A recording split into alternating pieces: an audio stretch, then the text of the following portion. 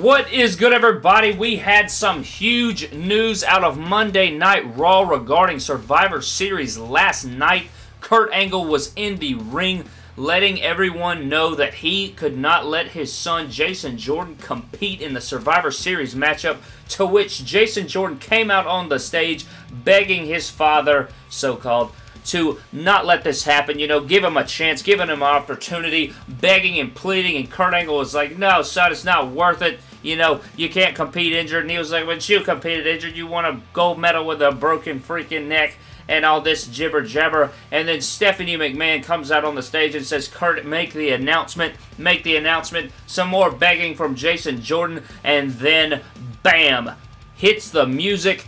And out comes the man himself, Triple H to the ring. And my God, what a pop he got, ladies and gentlemen. He marched himself down to the ring and made the announcement that he would be the fifth member.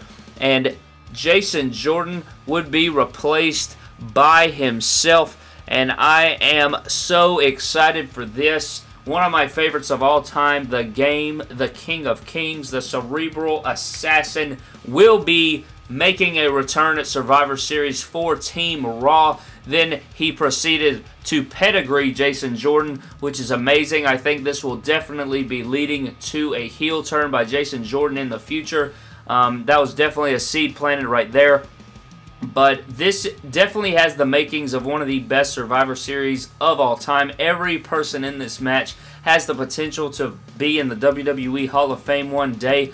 And it's just so incredible. With the announcement um, at the end of last week that John Cena would be added to Team SmackDown, this just lifts, you know, the freaking hype for this match so much further. And, you know, we have Brock Lesnar and AJ Styles also going head-to-head -head on this pay-per-view. So I am definitely most...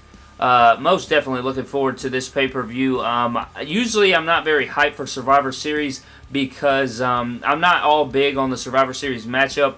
But, um, you know, it's always good for good wrestling. But I, I like championships on the line and stuff, which we do have.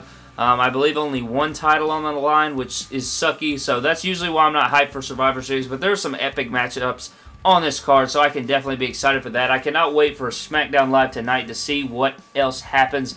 But yes, Triple H will be on Team Raw for Survivor Series. I don't know if Jason Jordan interferes in that match. Hopefully not. I hope they keep him far away. You know, he's good in the ring, but I do not think that he connects with fans, so I do not think he should be anywhere near that matchup and I just think that they should let all 10 men go head-to-head -head in the ring. But that's going to do it for this video, guys. Huge announcement for Team Raw at Survivor Series. Thank you guys so much for watching. Subscribe for more epic WWE and WWE figure related videos. And I will see you guys in the next video. Thank you so much.